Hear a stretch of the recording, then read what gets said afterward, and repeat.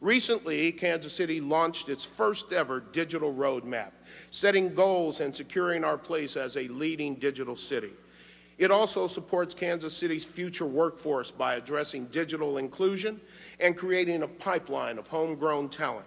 It makes Kansas City a smart city using technology to find better efficiencies in city service delivery.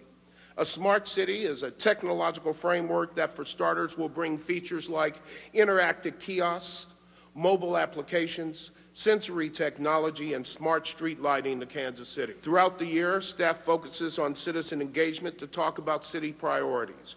Due to the voter-approved change in the city charter, I work with Troy and various city staff to make sure that the budget is responsive to citizen input. It's a painstaking process, and I'm not just talking about the long hours that go into it. I'm talking about the difficult choices we have to make on what programs to fund and at what levels to fund them. We've also strengthened the city's credit rating by reforming our pension plans and fully funding pension obligations for the first time in a decade. We have also figured out better ways to listen to citizens and improve engagement with things like citizen work sessions. We're making budget decisions more closely aligned with citizen input. Public-private partnerships are primarily a method for getting things done around City Hall.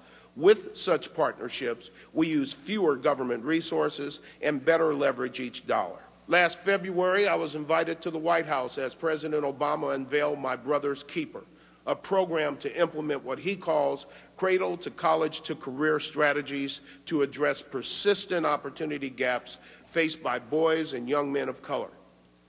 My Brother's Keeper has six goals and they're listed on the screen. As I learned about each of them, I was struck by the fact that Kansas City is a leader in many of those areas.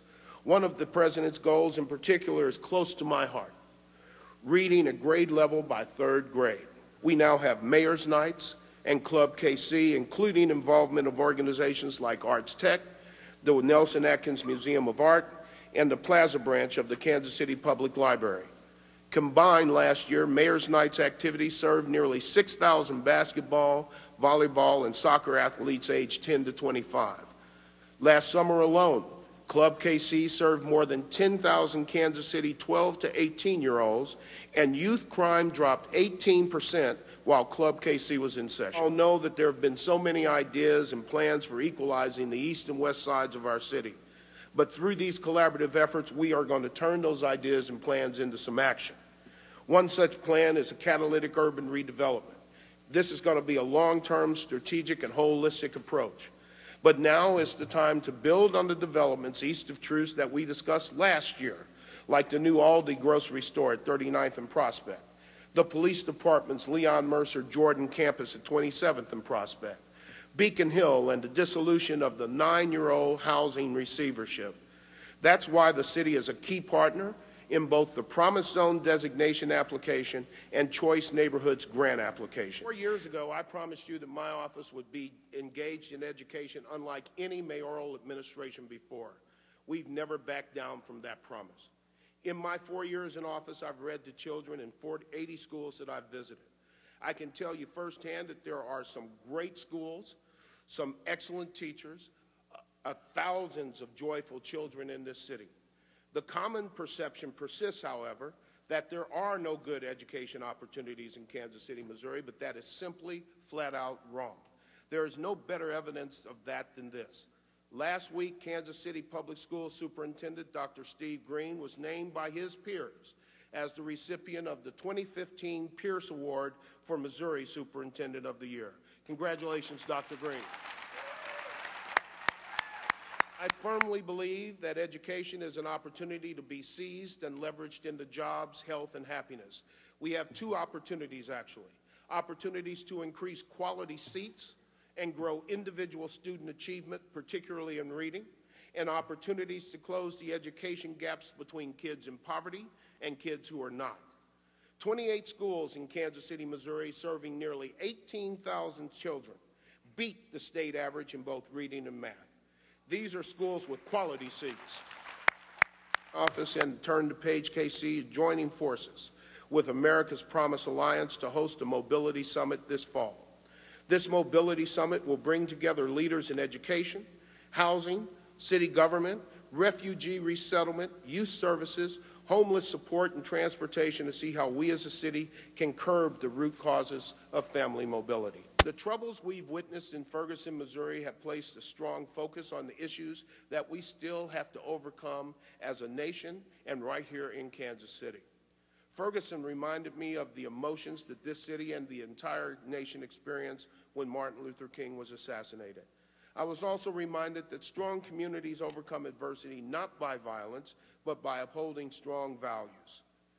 Last November, I asked that our community, rather than fight with our fists, that we fight to eliminate the very conditions that led to the conflict and the eventual death of Michael Brown. That is the opportunity that events like Ferguson actually presents to us. The opportunity to have open dialogue about race and community relations in our city.